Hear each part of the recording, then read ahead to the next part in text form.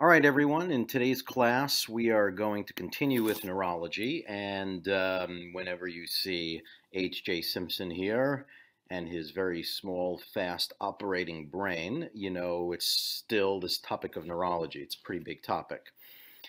And to just review the basic concepts the neural system, the neural system is highly adaptive.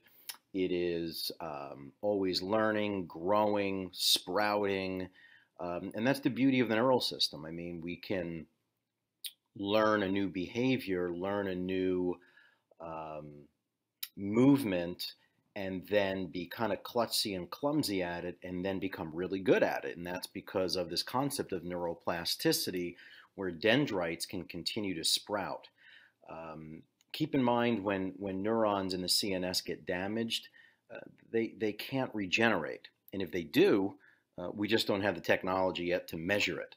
Um, but, but with neurological rehabilitation, you can sprout new ones, and the brain, due to neuroplasticity, it's incredible how certain aspects of the brain can pick up for the slack of a weaker area. Okay? So um, the neural system is sensing things, it is interpreting things and processing them, and then it's following out certain commands. And it's constantly in this state of homeostasis where it's turning something on or turning something off, or upregulating or downregulating, or speeding up or slowing down. Okay, so either your muscles, which are highly sensitive, you know, and the way I look at the muscles is that they're it's it's an extension of the nerve system right? I, I through years I've had patients ask me, "Hey doc, is this is this a muscular problem or is it like a nerve thing? My back is in spasm and I can't stand up. Is this a muscle thing or is it a nerve thing?"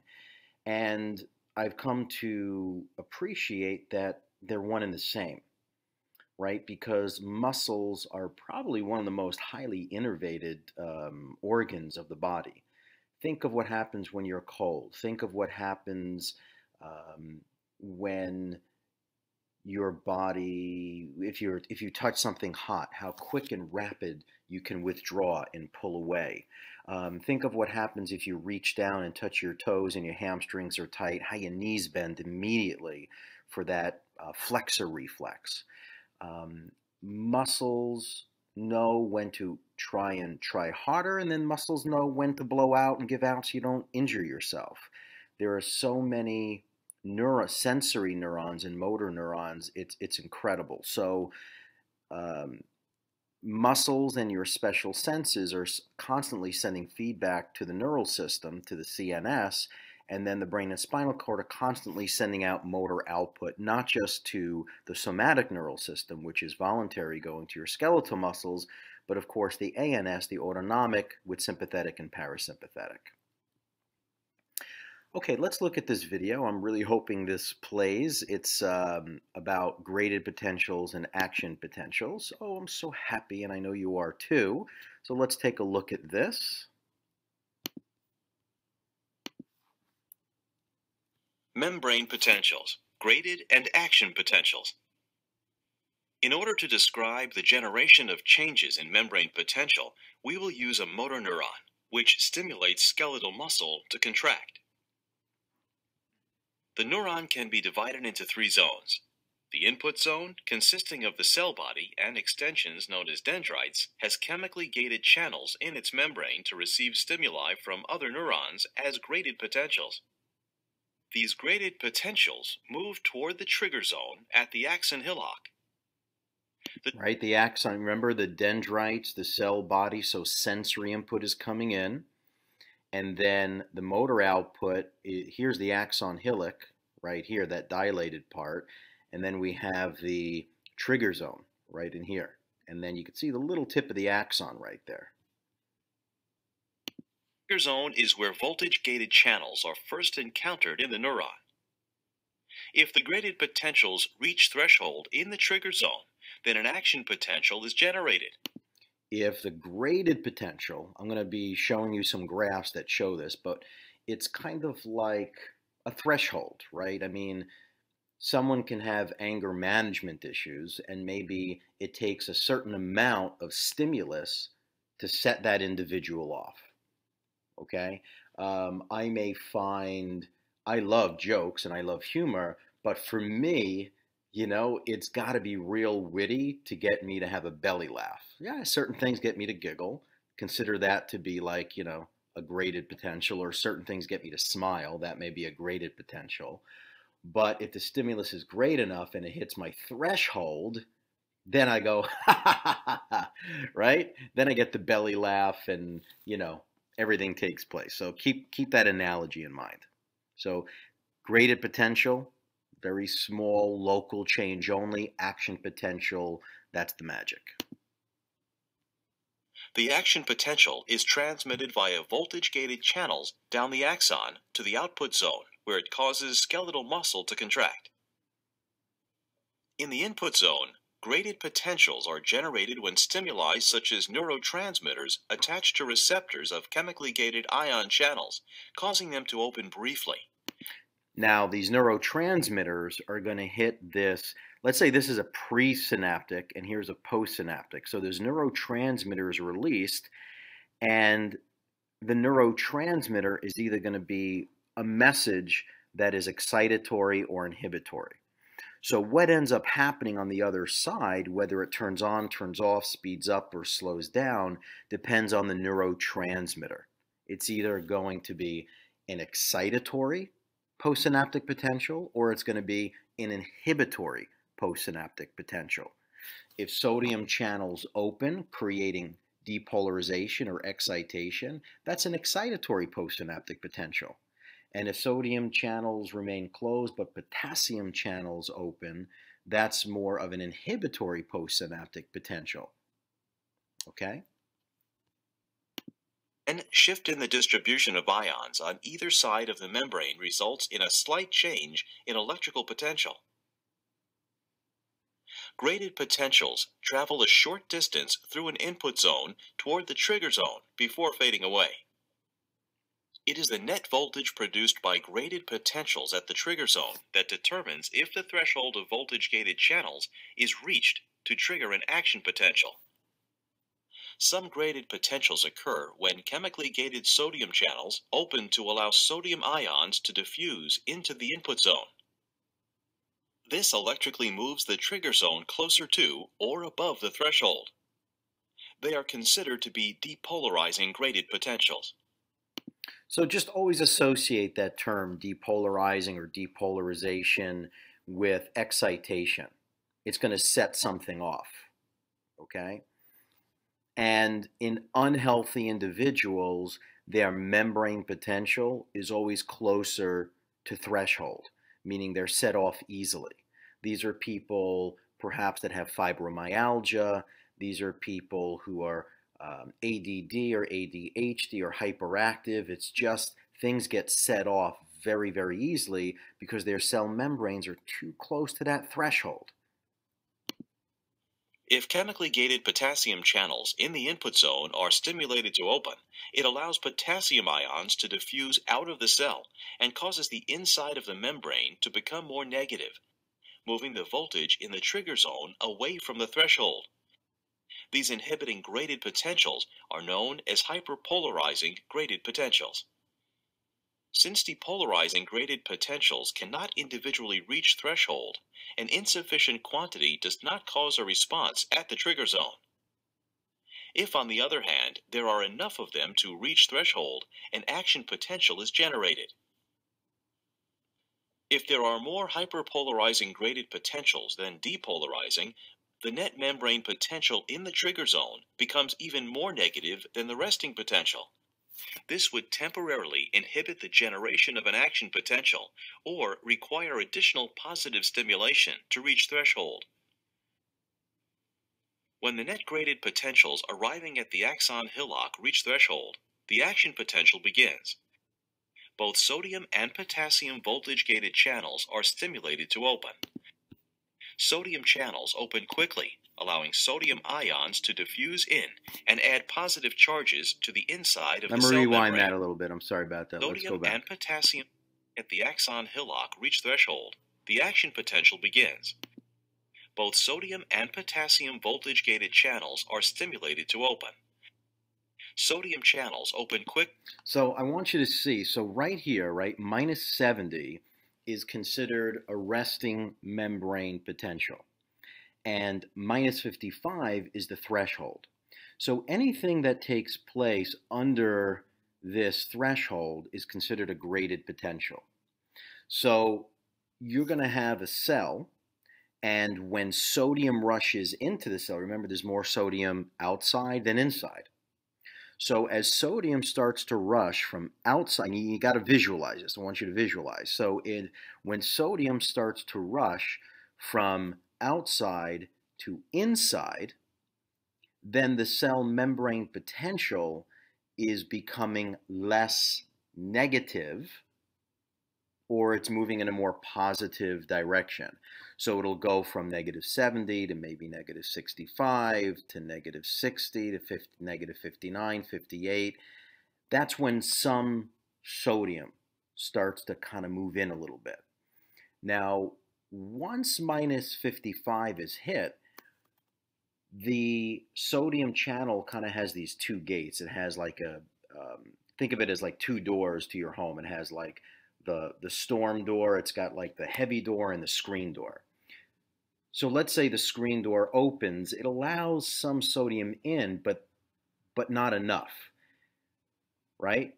When the heavy wooden door opens, now it allows that sodium that made it through the first gate into the cell.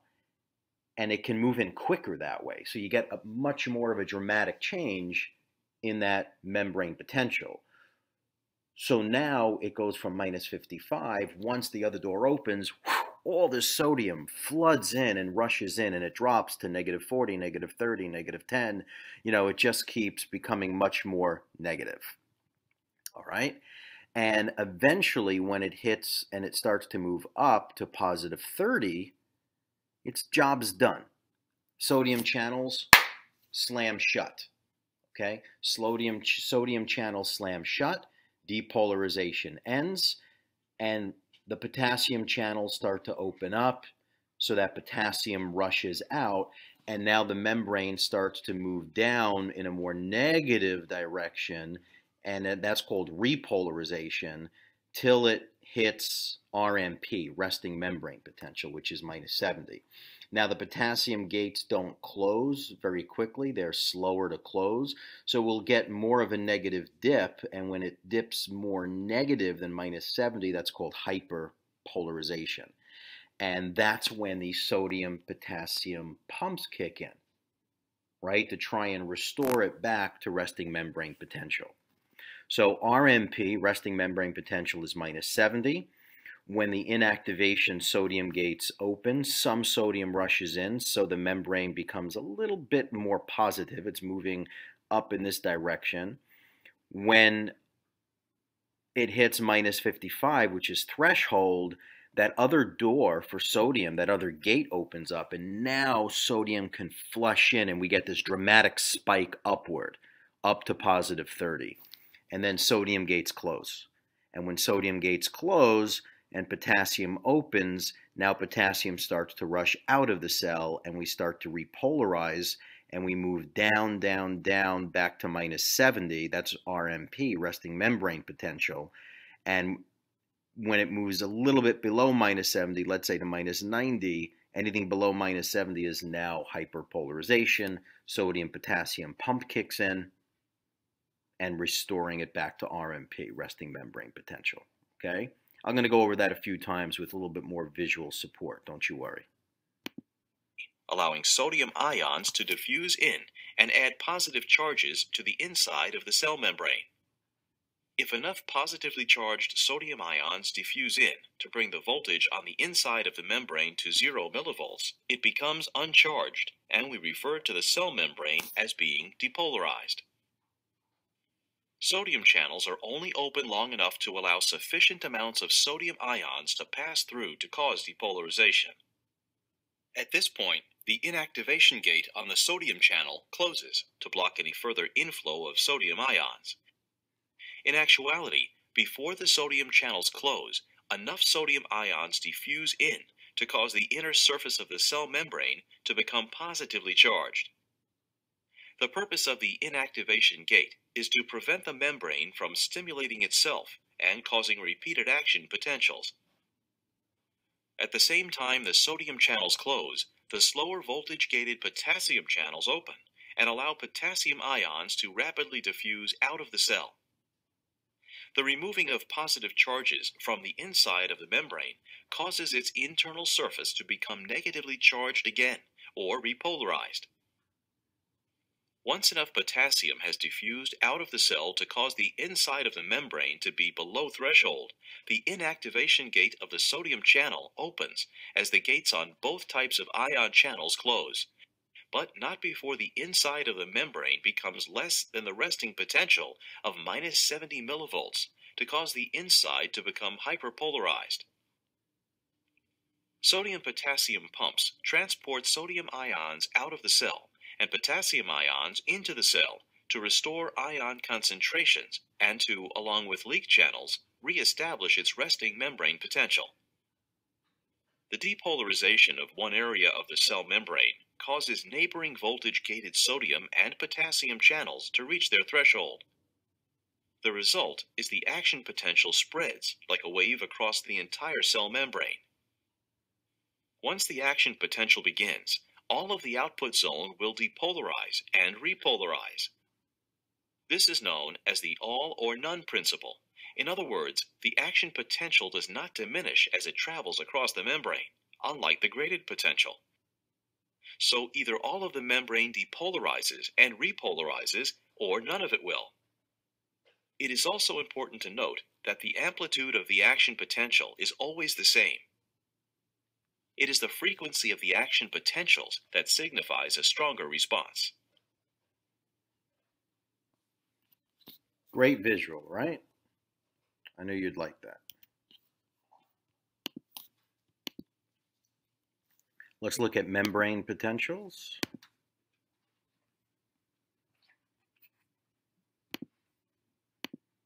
The function of neurons is to allow communication between cells, thereby maintaining homeostasis. Electrical signals, called membrane potentials, travel along the membranes of the neurons. Voltage variability and a distance traveled determine the type of nervous signal. Voltage variable short distance signals are called graded potentials. Voltage constant long distance signals are called action potentials. The distribution of charged ions close to a neuron's membrane determines the membrane's electrical potential. This potential is measured in millivolts. A change in voltage results in the generation of a nervous signal.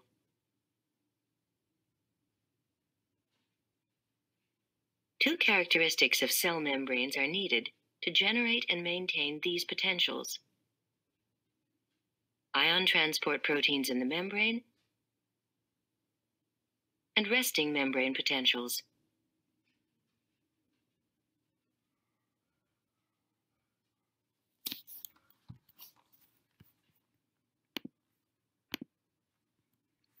Okay, so neurons are electrically excitable uh, due to the voltage difference across their membrane. And communication takes place through two types of electrical signals. One is called an action potential that can travel uh, long distances, and then graded potentials, as we said earlier, that are local membrane changes only. So in living cells, the flow of ions occur through ion channels. Okay, there are sodium channels, there are potassium channels, there are uh, calcium channels. So um, there's there's gated channels, there's leakage channels, there's um, mechani- mechanical channels that we'll look at. So leakage channels alternate between opening and closing. And keep in mind that there are many, many more potassium channels than there are sodium channels. There tends to be a little bit more permeability to potassium than sodium. Okay? Ligand channels, these are the ones that respond to chemical stimuli. So whenever you hear the word ligand, right away your brain should shift to hormones or neurotransmitters, some sort of chemical stimulus. Um, when we did muscles, right, and we talked about the NMJ, we introduced the idea of the um, acetylcholine that is stimulated to be released by calcium influx, right? Calcium influx comes in at the uh, axon terminal and it tells those neurotransmitters in those end bulbs to release ACH, acetylcholine. Acetylcholine crosses that synaptic cleft and then binds to that sodium channel that's closed. And here you could see on the left hand side this little purple thing would be like uh, a channel, and you could see the pyramid, red, the triangular thing, would be like acetylcholine. And when it binds to it, it opens it up and allows things to pass through that membrane, like sodium. Okay? Mechanically gated respond to mechanical vibration or pressure. Um, these things, uh, these type of mechanically gated channels um, help us actually understand why um, certain therapies in in offices, like I'll do a certain type of vibration therapy where I'll use a very strong mechanical vibration with percussion on patients that are in pain, and it helps to turn down the volume of that. Mechanical vibration and movement really can assist.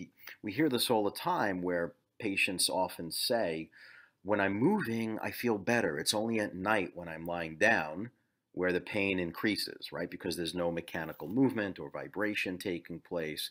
Think of a young child that that bangs their hand, you know, innately they want to shake it and move it, creating mechanical movement and vibration, right? Or we rub it and we give it some pressure stimulus to, to help which is involved with uh, massage or even massage therapy.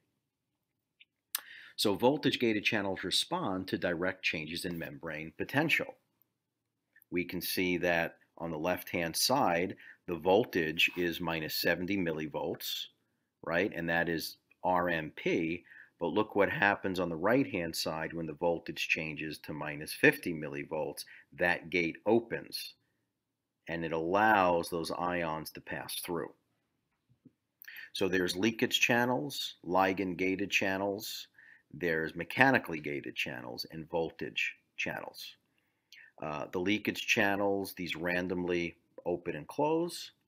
The ligand gated channels, these are chemically uh, involved. Mechanical, touch, pressure, vibration, tissue stretching. And then voltage gated, these are when the gates open and close in response to change in uh, membrane potential. If you look at the location of mechanically gated channels, uh, these are found in the dendrites of sensory neurons such as touch receptors and pressure receptors and nociceptors or pain receptors.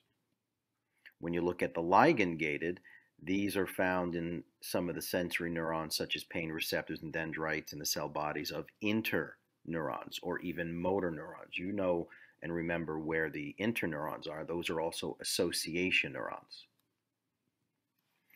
Um, the leakage channels, these are always open. So think of it as, um, think of these like in the old, I don't say old days,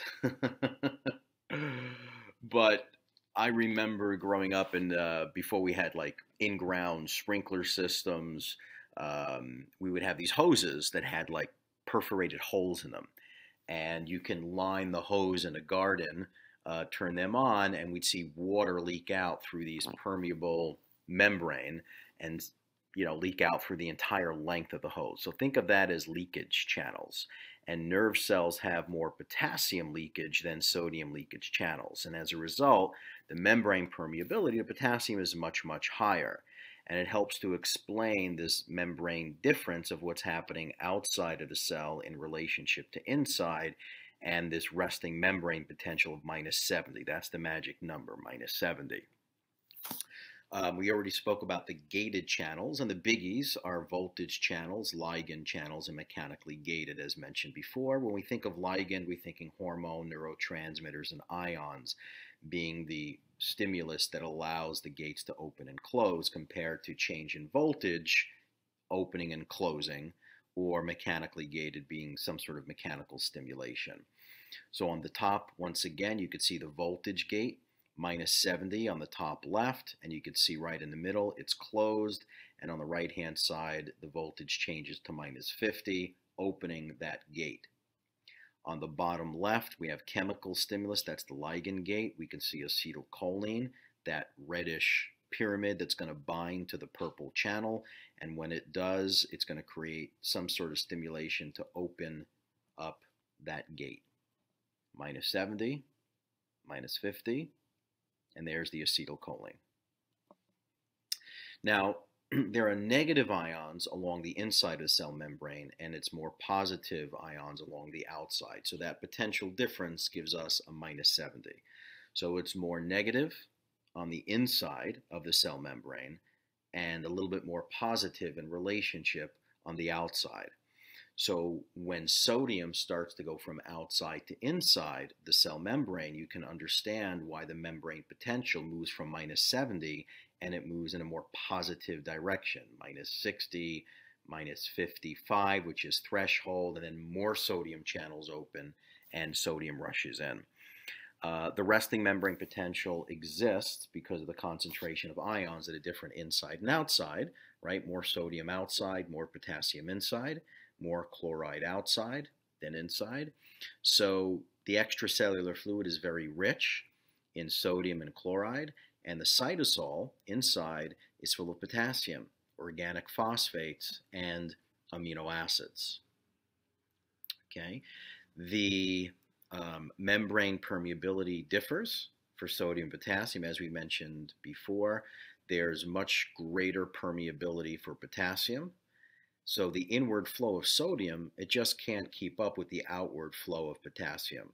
So we have these built-in, innate, inherent sodium-potassium pumps that can remove sodium as fast as it's leaking in. You know, think of this as being in a boat. And when you're in a boat, if you have a hole, water keeps coming in. The water that keeps coming in is sodium rushing in. So you have to kind of keep pushing it out or it's potassium rushing out and you got to get it all pumped back in. And in order to do that, you need a bucket.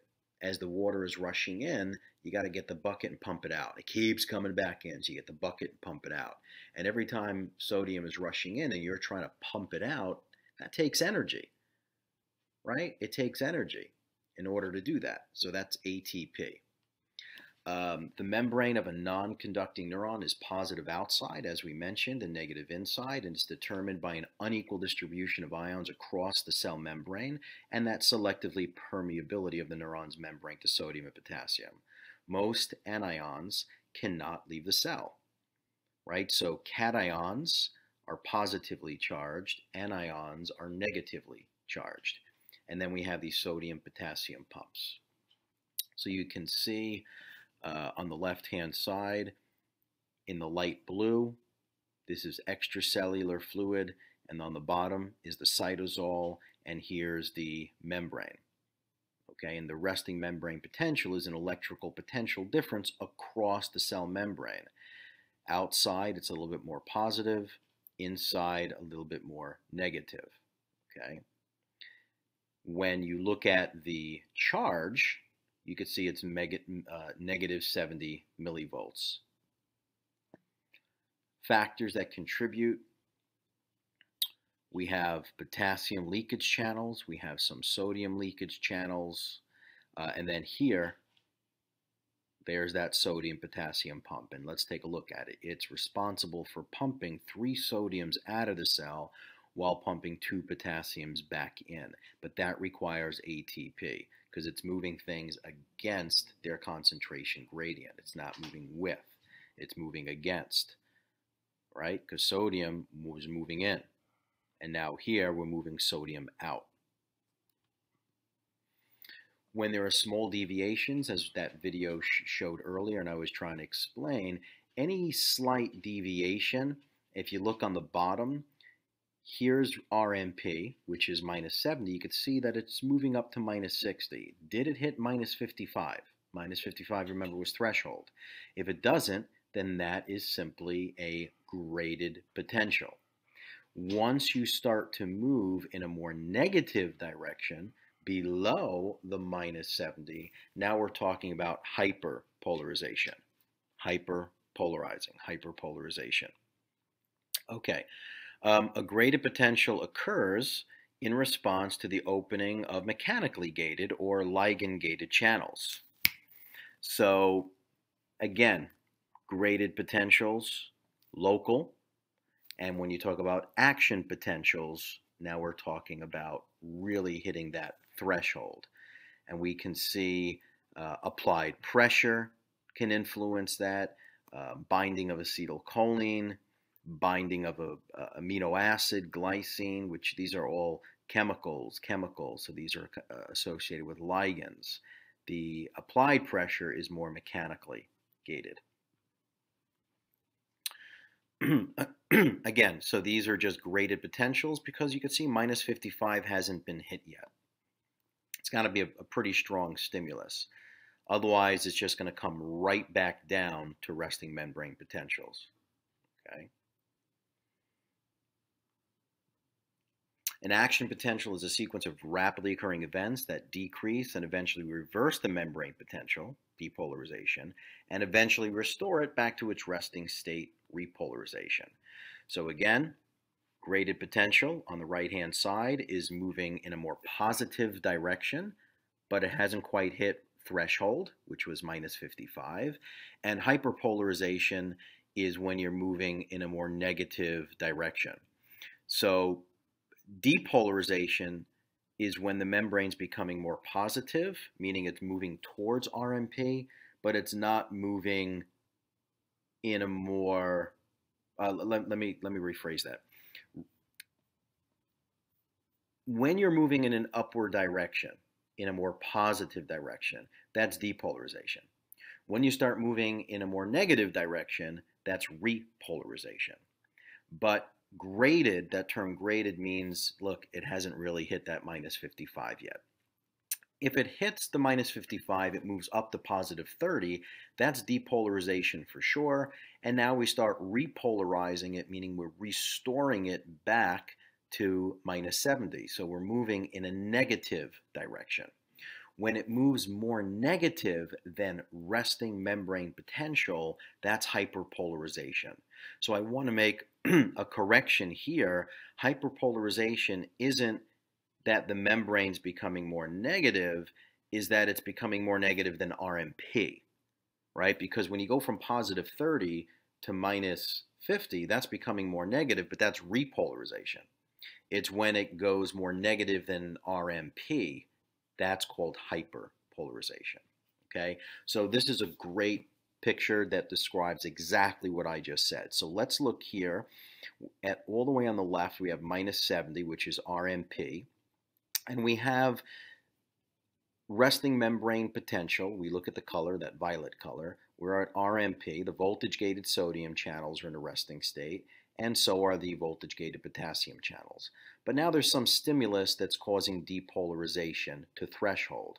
So from here to here, we could say that one of the gates are open, right? One of those gates is open, allowing some sodium to rush in, right? So when enough of that sodium rushes in and hits this, boom, the second sodium gate opens in that same channel.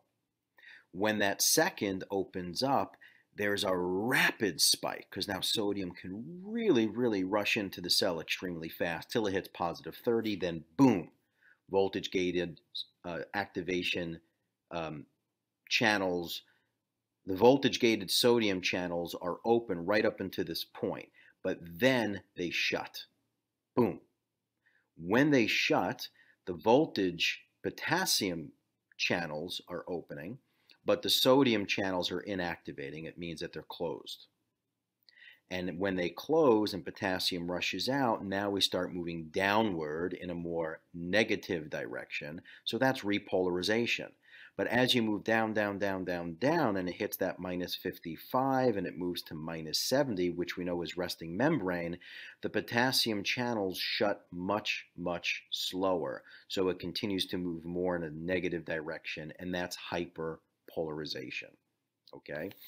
During an absolute refractory period here, in this phase, which is anything in this upswing, another action potential cannot be generated the sodium channels must be closed in this relative refractory period, which is in the downward swing, that's when another action potential can actually take place.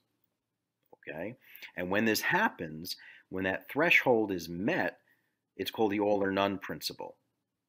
Right? That's when that action potential takes place. There's no turning back.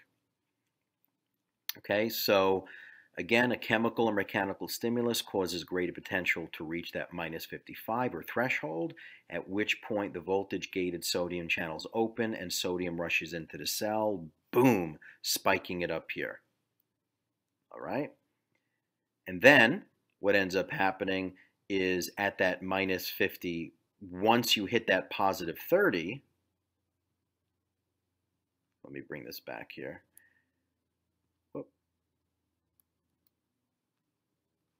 How come I can't get that to stay? Okay. All right. So we had we had already explained. So once we hit that positive 30, repolarizing phase is this red downward swing. Right? But you can see that it's the red is going from here where the sodium channel closes, potassium is open, potassium is rushing out of the cell, and look at that red line. The red line comes down and it stops right at minus 70. The brown downward swing is what hyperpolarization is. As we mentioned earlier, um, the refractory period is the period of time which neurons cannot generate another action potential, but it's the relative refractory period. In the absolute refractory period, absolutely not. I want to make sure you, you're aware of that. In the absolute refractory period, you absolutely cannot generate another action potential. But in the relative refractory period, a super threshold can initiate another action potential. So the sodium channels have to be closed in order for another action potential to be created. So resting membrane potential is minus 70 millivolts. Depolarization is when you're going from RMP up to positive 30. And then repolarization is when you're going from positive 30 back to minus 70. When you're going from minus 70 to minus 90, what is that called? Good, that's called hyperpolarization. Now, the propagation of action potentials, the action potential spreads or propagates over the surface of an axon membrane. As sodium flows into the cell during depolarization, the voltage of adjacent areas are affected and their voltage gated sodium channels open. So it can self propagate and spread along that membrane, and that's called an action potential or a nerve impulse. If you want to prevent opening of the voltage gated sodium channels, those are things like vibration. Um, those are things like ice. Those are things like lidocaine and novocaine. Those are the things that can actually stop the sodium gates from opening or at least slow them down so the person is feeling less pain. Other factors that affect the conduction rates are myelination. Let's see if we can get this one to run.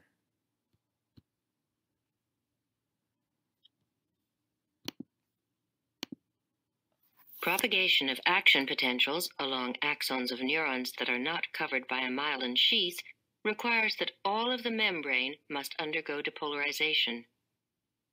This kind of conduction occurs along unmyelinated axons and is called continuous conduction. In the peripheral nervous system, Schwann cells form myelin sheaths by wrapping their cell membranes in multiple layers around an axon. The axon is now electrically insulated except for the gaps, called nodes of Ranvier, where the membrane is exposed. Because myelin electrically insulates an axon and prevents ion currents across the membrane, Depolarization of myelinated axons occurs only at the nodes of Ranvier. So I want you to look at that and see as the saltatory from the word saltare, it means to leap or to jump. So as the action potential moves down from the axon hillock in the trigger zone and it starts moving down this myelinated axon, it leaps, it jumps from where it's non-myelinated, the node of Ranvier, to the next. And where there's myelin, it moves super quick. Then it jumps and it moves quick. All right, compared to continuous conduction is a little much slower than that. This form of conduction, where the signal appears to leap from node to node, is called saltatory conduction. Energy efficiency and longer distance between depolarization sites make saltatory conduction much more rapid than continuous conduction. Saltatory is faster, you can see. Continuous conduction is much slower. So myelin speeds up the conduction rate.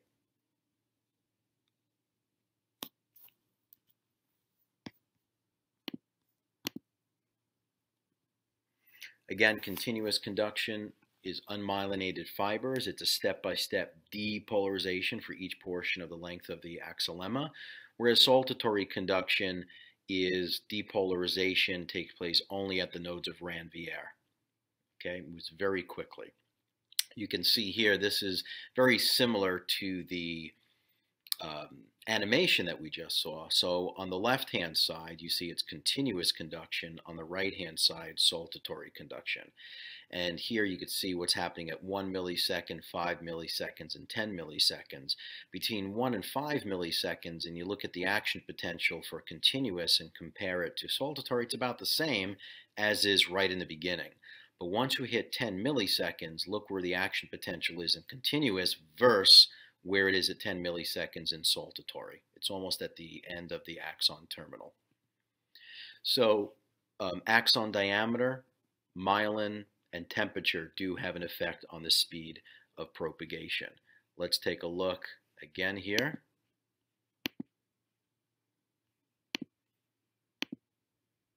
Propagation of action potentials along axons of neurons that are not covered by a myelin sheath requires that all of the membrane must undergo depolarization. This kind of conduction occurs along unmyelinated axons and is called continuous conduction. Much slower. In the peripheral nervous system, Schwann cells form myelin sheaths by wrapping their cell membranes in multiple layers around an axon. Schwann cells. The axon is now electrically insulated except for the gaps, called nodes of Ranvier, where the membrane is exposed. Because myelin electrically insulates an axon and prevents ion currents across the membrane, depolarization of myelinated axons occurs only at the nodes of Ranvier. This form of conduction, where the signal appears to leap from node to node, is called saltatory conduction. Energy efficiency and longer distance between depolarization sites make saltatory conduction much more rapid than continuous conduction.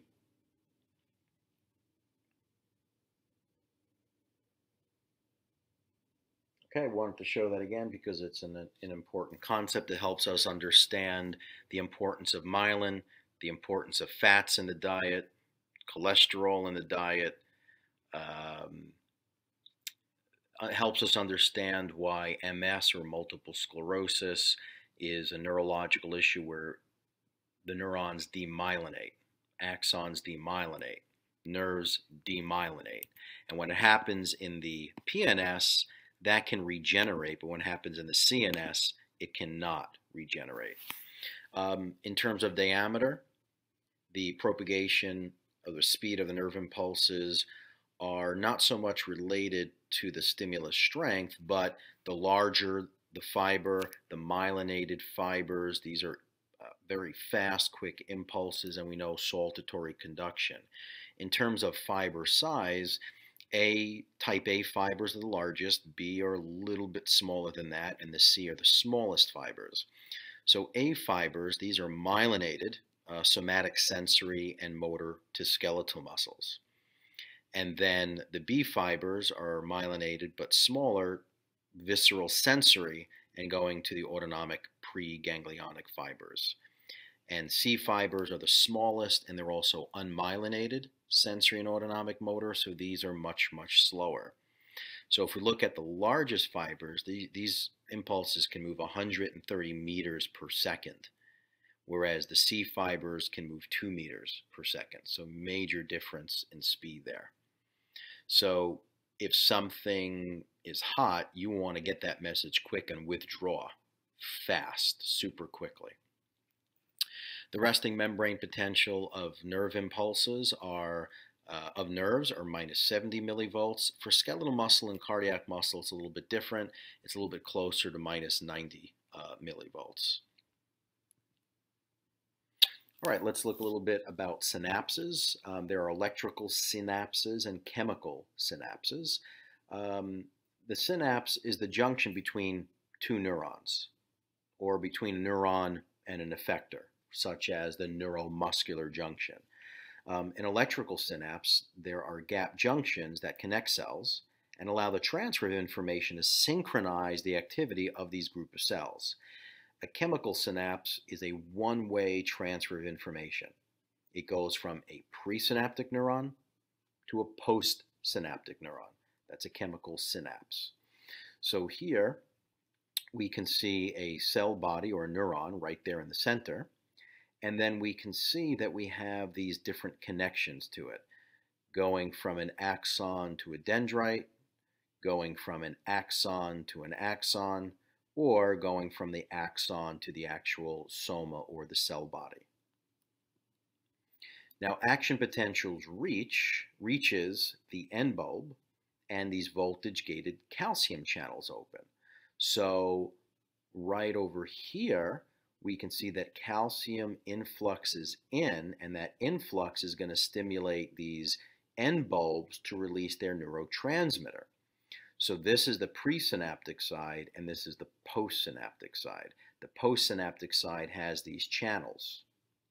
When the acetylcholine is released, or that neurotransmitter, whatever it may be, is released, that channel opens and allows a continuation of the action potential. Now, in this case, it's excitatory, so it allowed for depolarization, but sometimes they are inhibitory. So again, we can see calcium influx. We see the action potential coming down at number one. Then we see calcium influx at number two, all throughout that um, uh, axon terminal. And then we see number three, we see these many, many synaptic vessels and that have these protein in it or neurotransmitter, and it's going to release it in the synaptic cleft. It's going to cross to the postsynaptic side and bind to that channel and open it to allow for the postsynaptic potential to create an action potential or a nerve impulse. Let's look at the events at the synapse.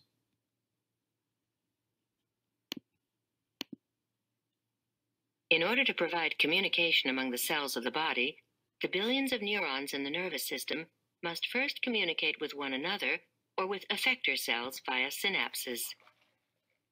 Synapses allow information to be filtered and integrated. Synapses are either electrical or chemical. Electrical synapses are called gap junctions and have many ion channels, called connexons, connecting two adjacent cells. Electrical synapses allow quicker communication, more coordinated communication between cells, and two-way transmission. A physical separation between adjacent cells, called the synaptic cleft, is a characteristic of chemical synapses. Because action potentials cannot cross a synaptic cleft, this electrical signal is converted into a chemical signal using neurotransmitters to cross the cleft. Unlike electrical synapses that allow for two-way transmission of signals, communication at a chemical synapse is one way only, from presynaptic to postsynaptic membranes. A series of events occur at chemical synapses in order to communicate with the adjacent cell. When the action potential arrives at the presynaptic membrane, its depolarization phase opens voltage gated calcium channels, allowing the inflow of calcium ions from the extracellular fluid. Increased calcium in the cytosol triggers exocytosis of synaptic vesicles carrying neurotransmitter chemicals, releasing them into the synaptic cleft. Neurotransmitters diffuse across the cleft and bind to receptors, often ligand gated ion channels.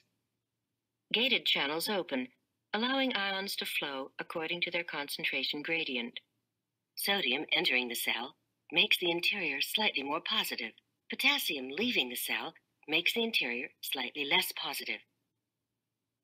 Depending on which ions enter the postsynaptic cell through the channels, the ionic flow will cause either a graded depolarization or a hyperpolarization of the postsynaptic membrane. Large graded depolarizations tend to generate action potentials. If depolarization is an above threshold voltage, then an action potential will be generated. The neurotransmitters bind to specific ligand gated ion channels in the postsynaptic membrane. This is important stuff here. A graded depolarization or hyperpolarization will occur depending upon which channels open to ionic flow. Depolarizations, the result of sodium gates opening, stimulate the generation of action potentials. These depolarizations are known as excitatory postsynaptic membrane potentials or EPSPs. Acetylcholine does that at the NMJ. Hyperpolarizations, the result of chlorine or potassium gates opening, inhibit the generation of action potentials. These hyperpolarizations are known as inhibitory postsynaptic membrane potentials, or IPSPs. Valerian root. The sum of all IPSPs and EPSPs from all synapses determines whether an action potential will be generated at a neuron's trigger zone.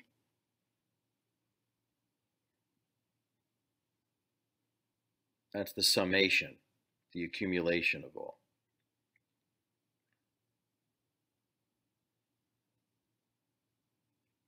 The summation. A typical neuron may have thousands of synapses. The neuron will have a corresponding number of postsynaptic membrane potentials summed at its trigger zone. Spatial summation results from the effect of potentials coming from many different synapses. Or it could be one firing Temporal over and summation over. results from the effect of potentials coming from one location or synapse, but many times in succession. That's temporal. Temporal summation. Summation can result in three possible scenarios. Temporal summation is like one student telling the professor, I don't want the test today. I don't want the test today. I don't want the test today. I don't want the test today. I don't want the test today, right? Over and over and over. And spatial summation is when you have an entire class of students just saying it once, right? The message from a hundred students leaves much more of a powerful impression on the professor than does one student saying it over and over and over. Okay, so the spatial is much more quicker and faster than temporal. Okay. IPSPs and EPSPs may summate and result in hyperpolarization of the membrane. In this case, no action potential will be generated. Or IPSPs and EPSPs summate, resulting in a subthreshold depolarization of the membrane. Again, no action potential can be generated. Or IPSPs and EPSPs summate, resulting in an above threshold depolarization. Now an action potential is generated.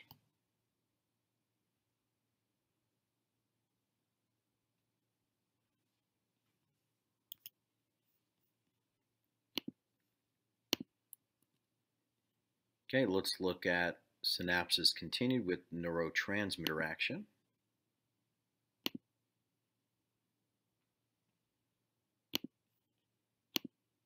The nervous system is composed of billions of communicating cells called neurons. Neurons conduct electrical signals or action potentials along the cell's membrane, along the axon to the terminus, where synapses are formed.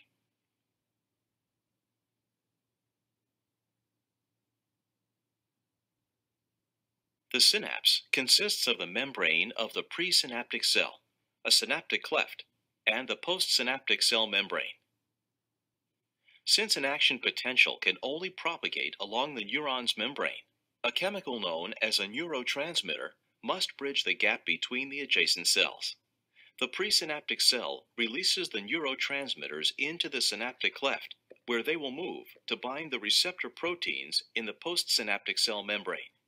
When the action potential arrives at the synapse, it opens voltage-gated calcium channels, resulting in an inward flow of calcium.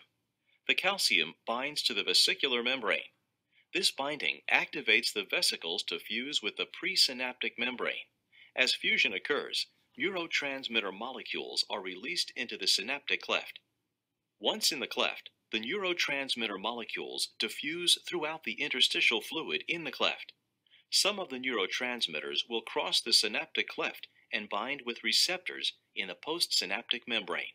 This binding produces an effect in the postsynaptic cell by opening the protein channels and allowing the flow of ions into and out of the cell.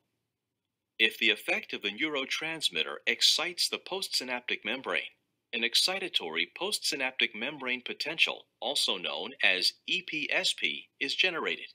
This localized depolarizing signal generally causes long distance signals, action potentials, in the dendrite of the postsynaptic cell. If the effect of the neurotransmitter inhibits the postsynaptic membrane and inhibitory postsynaptic membrane potential, also known as an IPSP, is generated. This localized hyperpolarizing signal generally prevents the formation of long distance signals in the postsynaptic cell.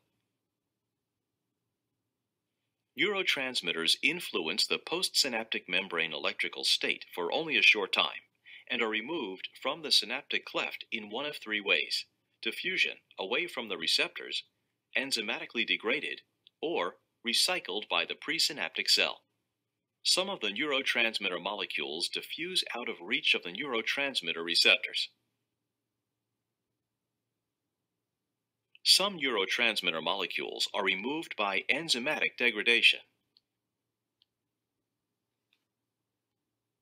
Some neurotransmitter molecules are transported back into the presynaptic cell by neurotransmitter transporter proteins, where they are recycled. An example of a specific neurotransmitter that functions in these ways is serotonin. Some serotonin will cross the synaptic cleft and bind with the specific serotonin receptors within the membrane of the postsynaptic cell, producing an effect in the target cell. Serotonin will eventually unbind from the receptors and either diffuse out of the synaptic cleft and be lost, or be captured by the serotonin reuptake transporter in the presynaptic membrane. This protein complex will transport the biologically active serotonin back into the presynaptic neuron for repackaging and re-release. Acetylcholine. The first neurotransmitter discovered also diffuses across the synaptic cleft and temporarily binds with its specific membrane bound receptor on the postsynaptic cell, affecting the cell's electrical state.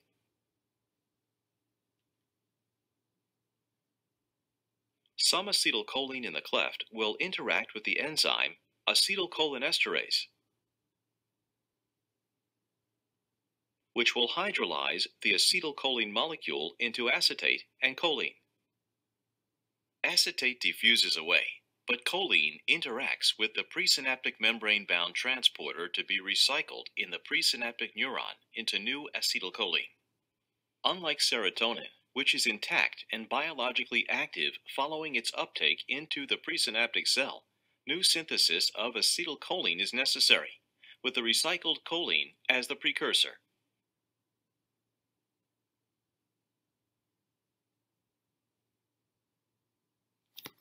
Okay.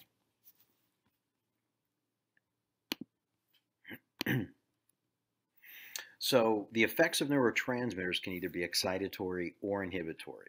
A depolarizing postsynaptic potential is called an EPSP or an excitatory postsynaptic potential. And as we said, it results from the opening of the ligand sodium channels. And if the postsynaptic, and that's when the postsynaptic cell is likely to reach threshold. The IPSP, the inhibitory postsynaptic potential, results from the opening of the potassium and chloride channels, and it's going to cause the postsynaptic cell to become more negative or hyperpolarized. So the further away from threshold it meets, the less likely it is to become excited, right? So it's less likely to hit threshold in an IPSP. So the EPSP is a depolarizing postsynaptic potential. The IPSP is when it hyperpolarizes. Neurotransmitters at the chemical synapses can either create an excitatory or an inhibitory message we have certain neurotransmitters that you can see on the right hand side that are excitatory and certain ones that are inhibitory.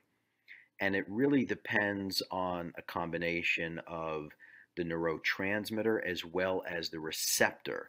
They both have unique communication because in certain cell membranes, acetylcholine can be excitatory, such as in skeletal muscle, but acetylcholine can also be inhibitory in other tissues.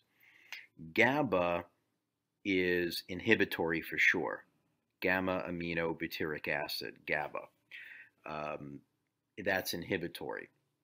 Glutamate is very excitatory, and glutamate being um, very excitatory should be more dominant especially in the morning. That helps you kind of get up in the morning, right? Kind of be glutamate dominant. And glutamate can convert itself throughout the day into, from glutamate to a more inhibitory neurotransmitter that tends to become more dominant uh, in the evening time. So if you're glutamate dominant, then all of a sudden you're waking up very easily. If you're glutamate deficient in the morning, then that's the person that hits the, you know, the the snooze button quite often. They may be GABA dominant. So then they're like, I don't want to get up. I'm so tired, right? Um, when you're glutamate dominant at night, which it shouldn't be. These are the people that stay up all night. They can't go to sleep. Okay? now, when you don't need these neurotransmitters, then they can be degraded or eliminated in a variety of ways. Number one, they diffuse. They just going from a higher concentration to a lesser concentration. Or there's enzymatic degradation where they're just broken down, like acetylcholine is broken down by acetylcholine esterase or we have these neurotransmitter transporters where they're blocked. So the uptake of the neuron or the reuptake is blocked, such as in drugs and medications like Prozac. Prozac is an SSRI or a selective serotonin reuptake inhibitor. What that does is it's going to allow the serotonin to linger in the synaptic cleft for a longer period of time before the body repackages it and brings it back. Okay? the spatial summation, if we go back and forth and we look at the amount of time it takes for an action potential to be generated, it looks like here we're looking at somewhere around like about 40 milliseconds in spatial summation. This is where we have many presynaptic neurons firing on a postsynaptic. This is where you have not one student, but many students telling the one professor, we don't want an exam today, right? I'll get the message pretty quickly. But if it's one student, I don't want the exam today, I don't want the exam today, I don't want the exam today, I don't want the exam today, you know, that's going to depolarize much later. It looks like 65 milliseconds. It's kind of like touching someone or tapping them on their shoulder to get their attention over and over and over again, poking them versus one, you know, solid hit at one time. Okay. So the summation of postsynaptic potential, so here we have presynaptic neuron 1, presynaptic neuron 2, presynaptic neuron 3, 4, and 5, and it just depends which one is stronger. You have an excitatory postsynaptic potential, inhibitory, excitatory, inhibitory, excitatory. It's going to gather all that in information, and whichever is the strongest one is going to win. Neurotransmitters' effects can be modified in a variety of ways. The synthesis can be stimulated or inhibited. The release of it could be stimulated or inhibited or blocked or enhanced. The removal could be stimulated or blocked, and the receptor sites could be blocked or activated. An agonist is anything that's going to enhance the neurotransmitter's effect, whereas an antagonist is anything that's going to block it. There are small molecule neurotransmitters, acetylcholine, amino acids, uh, biogenic amines, ATP, nitric oxide, carbon monoxide. These all act as chemical messengers, but they're all neurotransmitters. Whether it's acetylcholine, nitric oxide, carbon monoxide, Look at the biogenic amines norepinephrine, epinephrine, dopamine, serotonin. Look at some of the amino acids. We've got glutamate, that's excitatory. Glycine is usually inhibitory. We have GABA, inhibitory.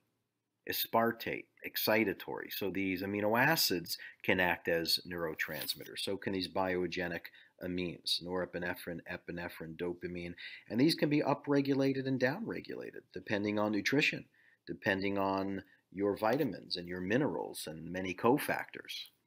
there are neuropeptides, uh, substance P, which is for pain perception, um, endorphins, angiotensin 2, cholecystokinin. These are all neuropeptides.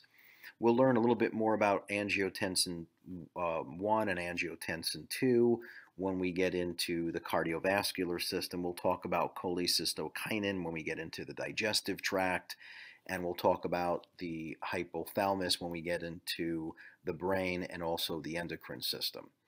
Um, substance P is released by mast cells and they allow you to perceive pain. And this is how a lot of the topical analgesics work um, where the mast cells release histamine, which are going to help signal pain.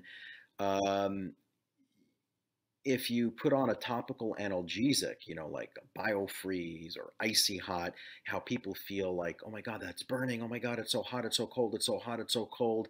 And then after a while, you don't feel anything and you actually feel better.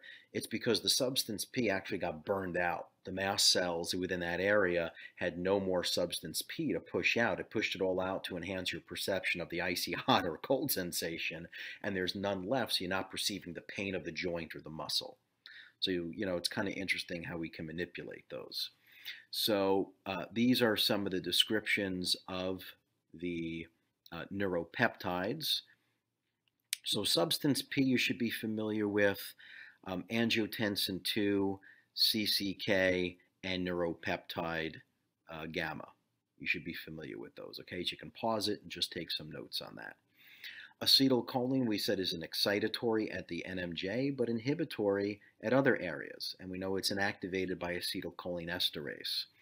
Uh, glutamate is released by nearly all excitatory neurons in the brain, and it's inactivated by glutamate uh, specific transporters or the reuptake of them. GABA is inhibitory for about third of all brain synapses. Now you've heard of Valium, which comes from valerian root. Um, there's many formulas that I have that I use in my office that have valerian root in it that uh, we use to help calm people down. It's utilized to relax muscles, relax very active brains. Um, so uh, Valium is a GABA agonist. So GABA is inhibitory. So once you're agonizing something that's inhibitory, you're making it more inhibitory. Okay. The biogenic amines like norepinephrine and dopamine and serotonin, very, very important. Uh, norepinephrine helps to regulate the mood. Dopamine also is involved in regulating muscle tone. We know when there's a dopamine deficiency, that's what Parkinson's is. It's when the substantia nigra of the midbrain is not pushing out enough dopamine. But dopamine is also part of the reward cascade. Um, hate to be so blunt, but you know these things will help you remember. When I was in school, we used to learn the dopamine reward system is wine, dine, and 69, which means alcohol, food, and sex tend to be very, very addictive. So is gambling very addictive because of the dopamine rush. Chocolate, smoking, uh, food all tend to increase dopamine. Uh, sex increases dopamine. And who doesn't want to feel good, right? So when behaviors or certain things make you feel good, you want to do more of those things, which is why some of the most difficult um, challenges to overcome and addictions tends to be food, right? Because food is needed for survival, and uh, alcohol is not needed for survival. Not saying it's not a challenging um, disease, but alcohol isn't needed to survive, whereas food is. So having food within your environment really becomes challenging for people. And serotonin is also involved with controlling of mood and temperature and helping to induce sleep. ATP is excitatory in both the CNS and PNS, and it's released with other uh, neurotransmitters such as acetylcholine and norepinephrine. Certain gases like nitric oxide or NO, this comes from a protein, right? So you have to have protein, you need to have a digestive enzymes in the stomach, and then it's the amino acid arginine um, is where nitric oxide comes from. Uh, it was first recognized as a vasodilator. And when you have vasodilation, you help to lower blood pressure. Um, so you ever see those commercials for Viagra? It's a vasodilator. It's used to treat erectile dysfunction. So when there's vasodilation to the blood vessels of the penis, then the soldier can salute, and there's an erection. Okay, so they tell you if you have blood pressure issues, be very, very careful because vasodilation can lower blood pressure. All right, we already spoke about substance P, which, which enhances our pain perception the enkephalins are pain have pain relieving effect by blocking the release of substance P. And there's a lot of things that can be done um, within manual medicine and acupuncture to affect endorphins and dynorphins and enkephalins, and even in the nutritional realm as well. Plasticity um, is maintained throughout life. It means that we're able to sprout new dendrites. Um, we can synthesize uh, the synthesis of new proteins, and it allows changes in synaptic contacts with other neurons. There is limited ability to, re to regenerate and repair. Um, we said earlier in the lecture that if there's damage in the PNS, they there can be dendritic or axonal repair, but when it's in the brain and spinal cord or anywhere in the CNS, the repairs are not uh, possible. And if so, we just don't have technology that's measuring it just yet. But neuroplasticity means that you can retrain the body to sprout new dendrites. Um, in the CNS, we said that there's little or no repair uh, due to the inhibitory influences from neuroglial cells, particularly oligodendrocytes. Oligodendrocytes cannot regenerate um, new myelin in the uh, repair myelin within the central neural system. There's also the absence of growth stimulating cues that were present during fetal development. And in the CNS, there's just rapid formation of scar tissue that takes place. The formation of new neurons from stem cells was not thought to occur in humans, but in 1992, a growth factor was found that stimulated adult mice brain cells to multiply. And in 1998, new neurons were found to form with, within the hippocampus. And the hippocampus is part of learning. So we know that we can learn how to um, do new sports and exercises as we age. And the more we do it, the easier it becomes. Um, I remember Larry Bird, a famous basketball player, used to get to the arena few hours early and just envision taking basketball shots from every single location on the basketball court over and over and over so that no matter where he was, his body was trained to make that shot. Okay, because his neuromuscle, the plasticity and the neuromuscular education and re-education of doing it over and over and over was there. So there would be the familiarity of doing it. The um, factors that prevent neurogenesis in the CNS is the inhibition by the neuroglial cells, the absence, as we said, of the growth stimulating factors, and the lack of neurolemmas, and the formation of scar tissue. Um, in terms of autoimmune conditions, we mentioned MS, which affects, you know, about half a million people in the US. It can occur between the ages of 20 and 40, twice as common in females than males. Females tend to have a stronger immune system than males, and I think of it as a pit bull. Um, you know, every now and then the pit bull can turn on its rightful owner. And every now and then that very, very strong immune system can turn on its rightful owner, unfortunately. Uh, symptoms include muscle weakness, abnormal sensation, and double vision. And remissions can take place. Um, I have a patient who I, who I still take care of, but she came to me about 20, over 20 years ago and she was a black belt at the time in her early uh, 40s. And when she came to me, it was for wellness care, and uh, I was taking care of her mother as well, and I was then taking care of her children. So it was three generations, and now I take care of her children's children. So actually, four generations of people now. And the um, we'll call her uh, Mary. Okay, it's not her name, but we'll call her Mary. Um, Mary came in just for wellness care, and a few weeks into care, she told me that a very odd symptom was taking place, where in which she experienced a few years prior. And a few years prior, she was not under my care, and I didn't even know her.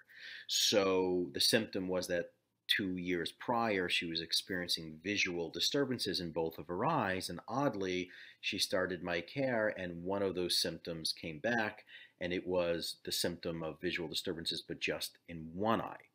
So this was actually the first few months of my practice, and um, I pretty much said, well, whatever it is, it's getting better, right? I mean, I didn't. She's a healthy, athletic individual, uh, perfect health history, um, nothing else to indicate anything, and um, I said, all right, well, you know, no pun intended, but we'll keep an eye on it. And um, anyway, the symptom dissipated, but then about a few months later, she said that it came back and she started now to experience some weakness in her hand and her legs felt very heavy. Now, at that point in time, it led me to think that there's something else going on. So I sent her for an MRI, and the MRI of the brain showed optic nerve de- uh, demyelination. Now, the optic nerve is part of the PNS, and it was only one optic nerve, not both. So what she was experiencing a few years prior was demyelination of both, but since the PNS can regenerate myelin, one of her optic nerves regenerated and the other had not. Today, all these years later, the other optic nerve fully regenerated, but it spread to the CNS.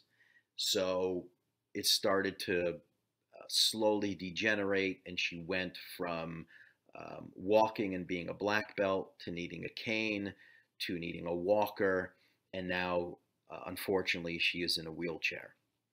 Now, this woman, what set it off was a few things.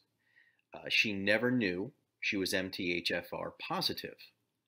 And when she, the symptoms started to come, and I knew some of her family history, which involved a brother who died in the 1970s from a vaccination. And it was one of the earlier, earlier lawsuits that ever took place against a pharmaceutical company back in 1972, to be exact. Um, I, I still have the news clipping, April 26, 1972, where she sued the pharmaceutical company because her child developed post vaccinal encephalitis and then several years later, that child had died at the age of, I believe, six or seven. Um, but there was mental retardation that set in, and then uh, unfortunately, death. Now, back then, remember, there was no social media, there was no Facebook, there was no National Vaccine Information Center, there was no Barbara Loe Fisher, there were no advocacy groups, there were no support groups. Um, and the second child, which is my patient, we'll call her Mary, she too was vaccinated. Now, this child was strong enough and lived, but has developed this neurological disease later on in life. And um, years ago, I became aware of this MTHFR SNP, and when I tested her for it, she had it. So it's kind of like, you know, if you're going to vaccinate, um, I believe it's important to do it safely and wisely and do some genetic testing first. Um, I have three children, and none of them have ever uh, been vaccinated. Uh, they're all superior in health. They've all been under great nutritional care and um, neurological care with chiropractic care by myself since the moment of birth. Um, I myself have not received any vaccines um, or boosters or anything uh, after the age of 17 when I became more aware and um, I complied with the New York State public health law, uh, which, thank goodness and thank God, has a sincere uh, religious belief system. So as a result, um, I'm allowed to be in public schools and universities, and my children are all allowed to be in public school system, not uh, being vaccinated. And I'm very, very happy to report that we're not alone, that there's many, many children in our public school district that are not. So my children uh, don't feel like outcasts like, you know, they would have probably 15 or 20 years ago. Um, so now, just showing you how far and how far your actions and words and education, how they can affect people. So as a result, now she's on a very specific form of, uh, you know, folate, MTHF. Her children were tested. Her children are no longer uh, vaccinated as a result because they have part of that SNP. And their children, who I also take care of, that are now uh, all, both under the age of three, um, are not vaccinated as well. Okay? Because it takes any type of stress to set that off. Um, it could be chemical stress, physical stress, or emotional stress. In Mary's case, it was the combination of being pre genetically engineered for perhaps neurological disease where her brother couldn't adapt and was uh, killed by it.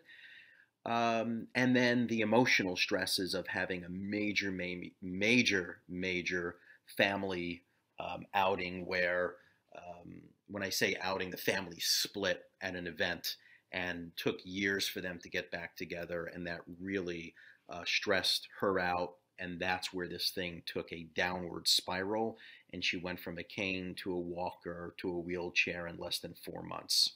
Okay, and once that gene expresses itself as a phenotype, it's very, very difficult and challenging to get it back. Um, I can say that it has not progressed um, in about eight years. Um, it's kind of maintained itself uh, based on MRI imaging, um, but you know she's not walking, and she'll probably, unfortunately, never get out of that wheelchair again. And I've known this family for a very, very long time, and you know they had these dreams of retiring and traveling the world, and um, you know things can change, and uh, that's why it's really important to kind of, you know, be in the moment, be in the present moment, and um, do what you, you know, don't procrastinate. If there's something you want to do, do it now, and um, make healthy, healthy choices to the best of your knowledge. Okay. Epilepsy, uh, this is the second most common neurological disorder, affects uh, about 1% of the population, and it's characterized by these short recurrent attacks of initiated electrical discharges in the brain. And anything can set it off from light to noise to smells. It's when there's skeletal muscle um, contraction that happens involuntarily, and people can even lose consciousness. And there are many causes. It could happen from brain damage at birth, there are metabolic disturbances that take place, there are infections, toxins, there's vascular disturbances, uh, TBIs, traumatic brain injuries, and tumors uh, that can cause that. And then just a, a, good review of the diagram of the primary uh, structure of the neuron, which is the functional unit of the neural system. There's the dendrites and their functions. There's the cell body and its function, the axon and the axon hillock and their function, and then the axon terminal with their end bulbs and their functions. You probably want to pause that page, take a look. It's everything that we covered already, so it's just a really good overview.